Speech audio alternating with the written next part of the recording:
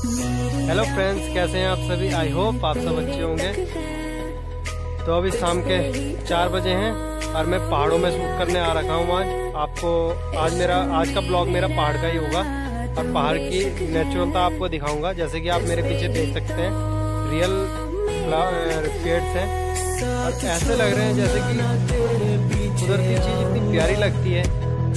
मैं आपको बैक कैमरे से दिखाता हूँ कैसा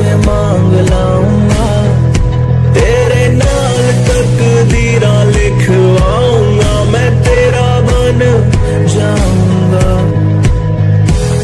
मैं तेरा बन जाऊँगा। सौ तेरी मैं कसम